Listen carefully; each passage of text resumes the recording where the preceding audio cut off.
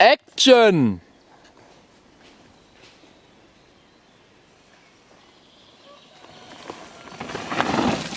Ah.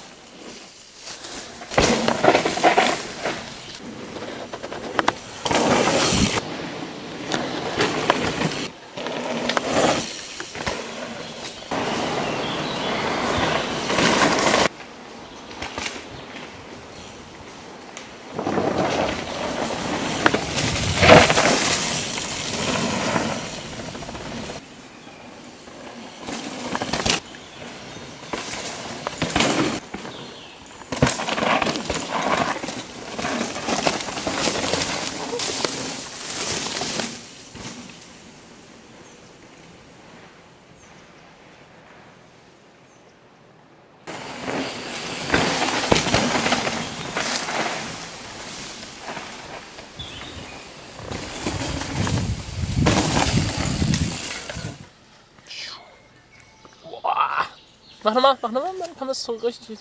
So jetzt.